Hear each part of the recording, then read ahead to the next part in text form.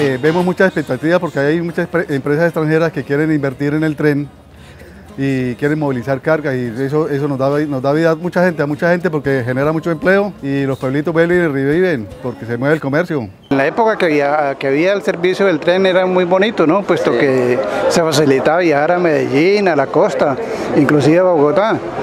Y entonces era un servicio muy bueno, ¿no? Inclusive que era por lo muy cómodo y muy seguro. Con la llegada del tren, pues el cambio que si llega a seguir eh, eh, el transporte en el tren, eso es una cosa más cómoda y todo, ¿sí? Sí, primera vez, nunca había visto un tren en mi vida. Ah, pues estoy emocionada y pues quiero conocerlo, quiero verlo.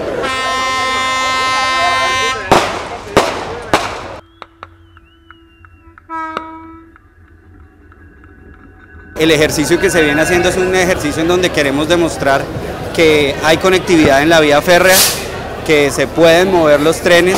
Estamos haciendo un ejercicio dentro de todo muy seguro.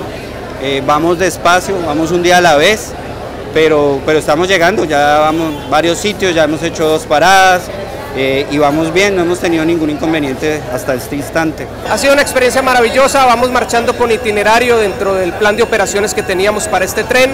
Estamos muy conmovidos con el recibimiento de la gente aquí en Barranca Bermeja y en todas partes a lo largo de la línea. Hay gran entusiasmo con la posibilidad del regreso del tren.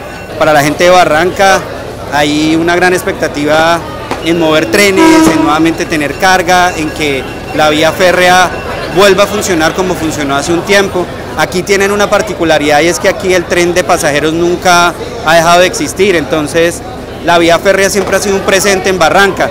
Nosotros, si nuestros planes de proyecto funcionan adecuadamente, eh, esperamos iniciar operaciones hacia mediados del año entrante.